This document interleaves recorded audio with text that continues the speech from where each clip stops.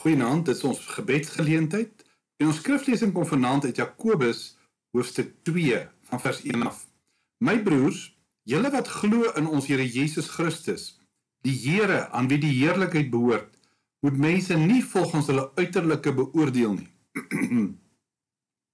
Sien nou daar kom in julle samekoms 'n man in met goue ringe aan sy vingers, met 'n deftige klere aan. En daar kom ook 'n brandarme man in met ou klere aan. Jy sien hoe julle maak 'n ophef van die man met die deftige klere. Julle sê vir hom, "Kom sit u hier gemaklik." Maar vir die arme man sê julle, "Gaan staan jy daar aan die ander kant." Of, "Kom sit hier by my voete." Het julle dan nie onder mekaar onderskeid gemaak en mense op grond van verkeerde oorwegings beoordeel nie? Een van die grootste uitdagings wat Christene het, is om die liggaam van die Here sigbaar te maak in hierdie wêreld. En daarom sukkel ons om met ander mense klaar te kom. Dis of die duiwel ons altyd op daardie terrein wil aanval. En Jakobus het ons uitdaging goed verstaan. Ons grootste probleem het te maak met mense, hoe om met hulle reg te kom. In Engels is daar so 'n mooi spreuk hieroor. Kyk of jy daarmee kan saamstem. To dwell above with those you love that will be a glory. But to dwell below with those we know, that's another story. Jakobus wil met ons praat oor hoe om nie onderskeid te maak, hoe om reg te kom met mense binne die liggaam van die Here. En daarom gee hy vir ons die beginsel, hierdie probleem en hy pas dit ook toe in hierdie paar verse. Kom ons begin deur weer 'n keer net na die goue reël te kyk wat Jakobus vir ons gee in vers 1. My broers, julle wat glo in ons Here Jesus Christus, die Here aan wie die heerlikheid behoort, moet mense nie volgens hulle uiterlike beoordeel nie. Wanneer Jakobus 'n sin begin met hierdie woorde my broers, dan kan jy maar weet hy kom nou by die hart van 'n probleem. Iets wat hy as leier in die vroeë kerk deeglik raak gesien het. En hier praat hy oor daardie vreeslike probleem dat in die liggaam van die Here daar 'n probleem is met vooroordeel, met faksies, met sekere mense wat jy makliker mee wil regkom as ander. Sommige Bybelvertalers gebruik die woord, hulle sê moenie 'n snop wees nie. 'n Snop is iemand, so sê hulle, wie sy neus optrek terwyl sy oë afkyk. Dis asof die gesindheid wil deurkom, maar ek is nie in jou klas nie. Die Griekse woord beteken letterlik dat jy iemand op gesigswaarde beoordeel. Met ander woorde, op grond van hoe hulle look, uh hoe hulle hoe hulle lyk, daardie uh kunsmatige beoordeling. En Jakobus sê, nee, dis die liggaam van die Here. Moenie dit doen nie. Moenie mense aanvaar of nie aanvaar op grond van die verkeerde beoordeling nie. Wie die van die Bybelvertaling sê, moenie mense op 'n ander manier beoordeel veral nie op hulle uiterlike nie. Ek wil 'n paar van die algemene foute noem vanaand wat ek en jy so maklik in kan trap. Jakobus begin met die uiterlike. Hy sê moenie mense wat aan die liggaam van die Here behoort beoordeel op grond van hoe hulle lyk nie. Hoe hulle aantrek nie. Weet jy wat wil hy sê? Hy sê God doen dit nooit nie. Daarom moet jy dit ook nie doen nie. hoe kyk ons na mense? het ons dadelik 'n stertjie wat ons aan hulle hang op grond van hoe hulle lyk. Weet jy, Christene kan maklik in die slag gat trap van gesag, van uh die manier hoe ek aantrek. Ek wil so graag met die nuutste modestryd hou want ons kan so vasgevang raak met wie's in en wie's nie in nie. Wie's nou regtig uh intel en wie nie. En dan beoordeel ons mense op grond van daardie verkeerde oorwegings. Hulle ras, waar hulle vandaan kom, hulle etniese agtergrond of wat miskien uh, na vore moet kom is hulle ouderdom. Uh, jy's te oud of jy's te jonk om deur die Here gebruik te word. Wat hulle bereik het in die lewe. Ons samelewing is so opgewonde oor wenners. Ons gee glad nie aandag aan mense wat dit nie maak nie. Een oomblik is jy 'n held en die volgende oomblik is jy niks. Sukses en status is ons samelewing sleutelwoorde. Jakobus sê in die liggaam van die Here kan dit nooit gebeur nie. Die mees algemeenste onderskeiding waar waarmee ons mense takseer het te maak met rykdom. Of hulle arm of ryk is, hulle status noem ons dit. En dit is die een saak wat Jakobus nou uitkies. En hy gaan hom nou 'n bietjie aan die klok hang om te sê, maar dit kan nie gebeur as ek en jy die hande en voete en liggaam van Jesus is nie. Kom ons lees bietjie wat sê hy in vers 2 en 3. sê nou daar kom in julle samekoms 'n man in met goue ringe aan sy vingers, deftige klere aan, daar kom ook 'n brandarme man in met ou klere aan. En sê nou julle maak 'n ophef van die man met die deftige klere. Julle sê vir hom, kom sit hier gemaklik, maar vir die arme man sê julle, gaan staan jy daar aan die ander kant of kom sit hier by my voete. Julle dan nie onder mekaar onderskeid gemaak en mense op grond van verkeerde oorwegings beoordeel nie. Kyk wat wil Jakobus sê. Hy sê twee mense kom op dieselfde tyd by die kerk aan. Ons weet hulle is vreemdelinge, want hulle weet nie waar om te gaan sit nie. Die eerste persoon loop in. Weet jy, dit is letterlik of jy sy rykdom aan hom kan sien. Almal weet hy pas nie in nie, want in die Nuwe Testament die meeste Christene was arm. Meeste van hulle het uit die slawe agtergrond gekom. Hier staan, hy het goue ring, hy het goue uh, ringe aan sy vingers. Letterlik in die Grieks sê dit sy vingers was van goud. In die Nuwe Testamentiese tye kon jy ringe gaan huur om by spesiale geleenthede te wys hoe uh, welaf jy is. Hulle sou juwele gesny het en in hulle klere vasgewerk het. Nou Jakobus kritiseer nie mense omdat hulle welaf is nie. Hy kritiseer die mense in die gemeente omdat hulle op die verkeerde manier teenoor so 'n persoon optree. Hier staan, hy het besonderse klere aan. In die Grieks was dit letterlik daardie toga wat die politikuste sou aantrek as hulle vir herverkiesing beskikbaar was. En aan die ander kant kom daar dan iemand in, jy kan sien hy's brandarm. Jy kan sien hy's verwaarloos. Daar's gate in sy klere. Hy het nie skoene aan nie. Uh sy hare is nie behoorlik versorg nie. Hy lyk maar sleg. En nou moet die Christen wat die dag daar by die deur diens doen, hy moet nou 'n moeilike besluit maak. Waar gaan ek hom laat sit? Daardie Christen neem hom, die ryk persoon, heel voor Hy sê vir hom vat nou hierdie lekker plek. Dis ons beste sitplek. Ek wil hê almal moet weet jy's hier. Ons gaan na al jou behoeftes omsien. Dan draai hy na die arme man. Hy sê, kom staan jy hier in die hoek of kom sit jy op die vloer? Letterlik in die Grieks staan daar kom sit onder my stoel. En dis die ergste vorm van iemand aftrek wat jy kan doen. Hy behandel hom soos iemand wat regtig niks werd is nie. En nou sê Jakobus, As ons nadink oor die liggaam van die Here, dat ons Jesus sigbaar maak, dan is daar drie ernstige probleme met daardie soort van gesindheid. Daardie gesindheid is onchristelik. As jy soos Jesus wil wees, dan mag jy nie mense anders behandel nie. Geloof en om mense anders te behandel is onverzoenbaar. Want jy sien die kerk is 'n familie. Hierdie woord wat hier staan, ons moet mense nie anders behandel nie. Kry ons net vier plekke in die Bybel. Elke keer verwys dit na die Here en dit sê die Here doen dit nie. Kyk hoe stel Romeine 2 vers 11 dit. God trek immers niemand voor nie. Kan jy dink wat Jesus maak met mense? Hy behandel elkeen met waardigheid. Petrus moes hierdie les op 'n moeilike manier leer toe hy na Kornelius toe gaan. Die Here het hom die laken met die rein en die onrein diere gewys en daarmee wou die Here vir hom wys God trek niemand voor nie. Die Here het vir almal ewe lief. Dis sy liggaam. As daar een plek in hierdie wêreld is waar hierdie soort van gedrag nie mag plaasvind nie, is dit in die kerk. Ek en jy weet, in die hele wêreld het hulle hulle stelle reëls. Maar as een plek is waar dit nie saak maak wie jy is, waar jy vandaan kom, wat jou agtergrond is nie, dan sit in die liggaam van die Here. 'n Tweede ding wat Jakobus vir die vroeë Christene wil sê. Hy sê as jy hierdie soort van gedrag het, dan gebruik jy nou nie jou verstand nie. Hoe sê dit in vers 5 tot vers 7. Luister my liewe broers, kies God nie juis die uit wat in die oë van die wêreld arm is om ryk te wees in die geloof en om die koninkryk in besit te neem wat hy beloof het aan die wat hom liefhet nie. Maar julle behandel die arme man met minagting. Is dit nie die rykes deur wie hulle uitgebuit word nie?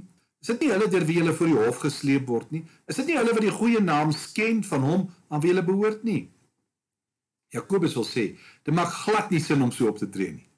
In die eerste plek sê hy God kies arme mense uit. Hy wil nie daarmee sê dis nou goed om arm te wees en sleg om ryk te wees nie. Ek en jy as ons in Christus is, is ons skatryk. Dis 'n rykdom wat gaan bly. Maar wie ek en jy is, maak nie verskil aan die Here nie. Sien jy ook bly dat jou redding, jou posisie in Christus, nie afhang van hoeveel geld in jou rekening is nie. Rykdom, gesondheid. Dit beteken nie dat jy spesiale behandeling kan kry nie. Die persoon wat ryk is, het dalk sy geld oneerlik gekry. Jou waarde word nie gebaseer op dit wat jy bymekaar gemaak het nie. Dit maak nie saak waar jy jou klere koop of wat jy eh, waarmee jy ry nie. Hier in die gemeente, in die liggaam van die Here, is jy welkom. Juis omdat die Here die armes uitkies. En omdat ryk die ryk is, jy's nie vir jou omgee nie, sê Jakobus. Hoekom gaan jy nou soveel aandag aan hulle wil gee? Dis die rykes wat jou juis uitbuit nou in die tye van die Nuwe Testament was dit die uh die die adelstand onder die Romeine wat vir wat die wat verantwoordelik was daarvoor dat Christene vir die leeu gegooi is. Hulle het die Christene vervolg. Hulle het die Christene veroordeel, beledig, die tronk gegooi. En nou sê Jakobus, "Hoekom wil jy hulle beïndruk? Dis definitief nie die moeite werd nie. Dis nie waar jou rykdom is nie, dis waar jou goedkeuring vandaan kom nie." Daarom is dit belangrik om jouself af te vra, hoekom doen ons dit? Gewoonlik doen ons dit omdat ons dink daardie mense kan ons help. Maar weet jy wat? Jy hoef nie daardie mense te ken as jy die een ken wat regtig die sleutels in sy hande het nie. Hy het 'n manier om deure oop en toe te maak, ongeag van die netwerk van jou kontakte. Jakobus sê dis die liggaam van die Here. Moenie mense onderling anders behandel nie. Dis onchristelik. Dit maak nie sin nie. Dan gee hy sy hoofrede. Hy sê hier in vers 8 tot vers 10. As jy werklik die wet van die koninkryk van God onderhou, soos in die skrif staan, jy moet jou naaste lief hê soos jouself, dan doen jy reg. Maar as jy die mense in die uiterlike beoordeel, doen jy sonde en veroordeel die wet van God julle as oortreders. As iemand die hele wet onderhou, maar in een opsig struikel, is hy skuldig ten opsigte van al die gebooie. Jakobus sê, daardie soort van gedrag is liefdeloos. Dis waarom jy dit moet doen nie. Waarom word dit die wet genoem? Die wet van die koninkryk van God. Weet jy waarom?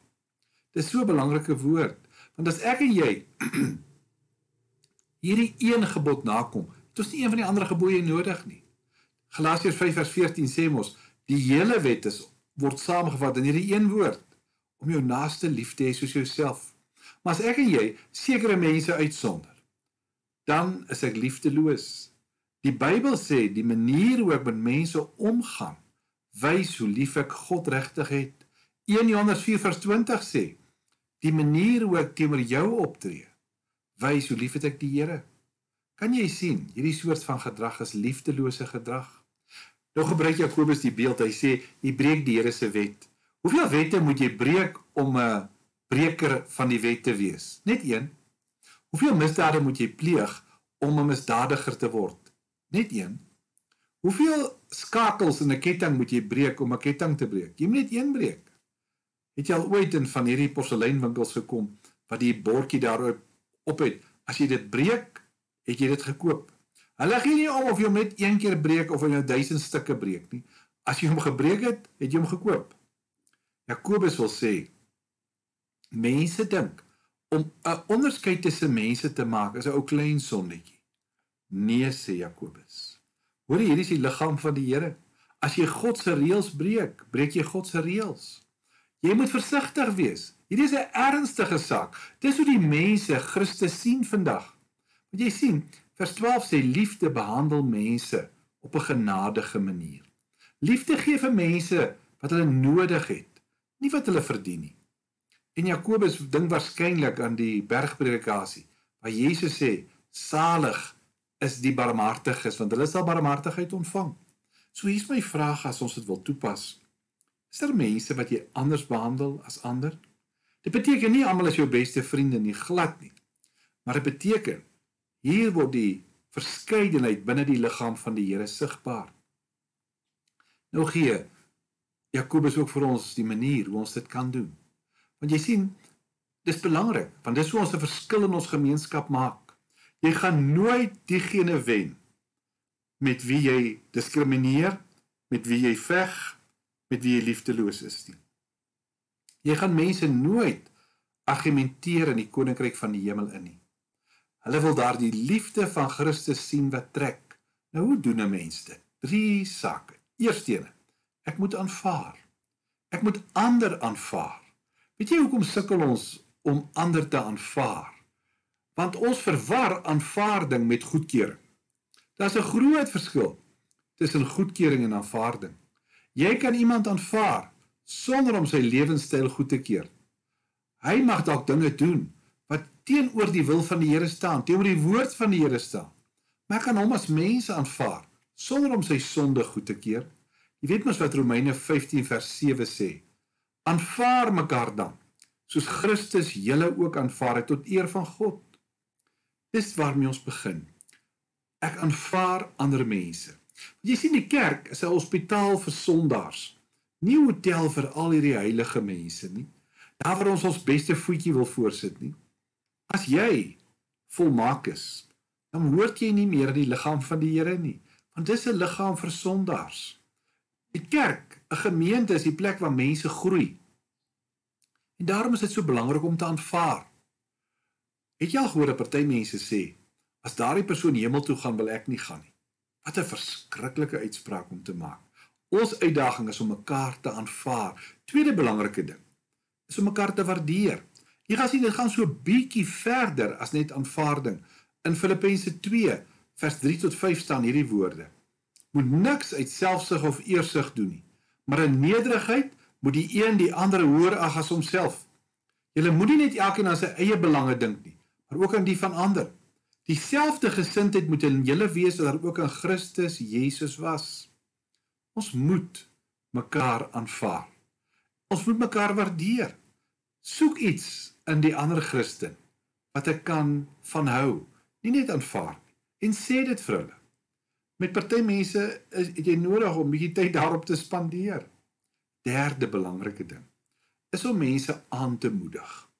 Mense op te tel 1 Tessalonisense 5:11 sê: "Praat mekaar moed en versterk mekaar dan met hierdie woorde, so as julle trouens doen." sien die vroeë kerk het ietsie van verstaan.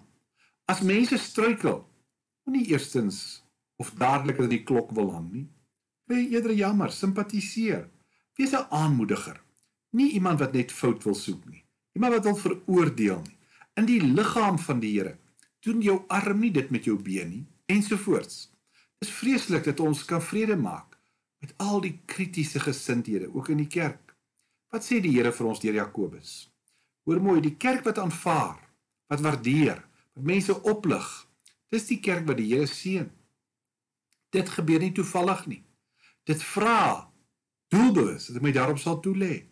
En elkeen moet aan hierdie liggaam van die Here se welstand aandag gee. Wie Franciscus van Assisi het 'n wonderlike gebed gekomponeer en dit het 'n lied geword want Christene besef hoe belangrik 'n lied is hier en ek wil dit vir jou in Engels wys vanaand. Lord, make me an instrument of thy peace. Where there's hatred, let me so love. Where there's injury, pardon. Where there's doubt, faith. Where there's darkness, light. Where there's sadness, joy.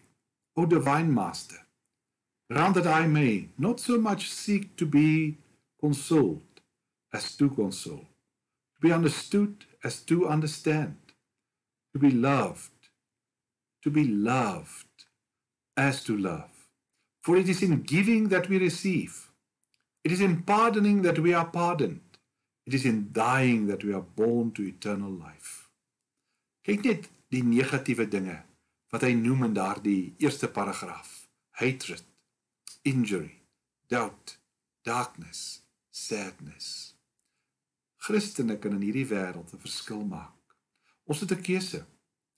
Gaan ek by die negatiewe vashak of gaan ek juis genade wil aanstuur in 'n stikkende wêreld? Kom ons kyk na ons gebedsonderwerpe vanaand. Wil jy met vir die Here dankie sê vir die baie seënings? Kom ons bid vir die eksamens, die feestyd. Kom ons vra vir die Here ons mekaar sal aanvaar, sal waardeer. Ons vra vir vergifnis wat ek ander dalk afgeskryf, geoordeel het. Kom ons bid vir ons sendelinge.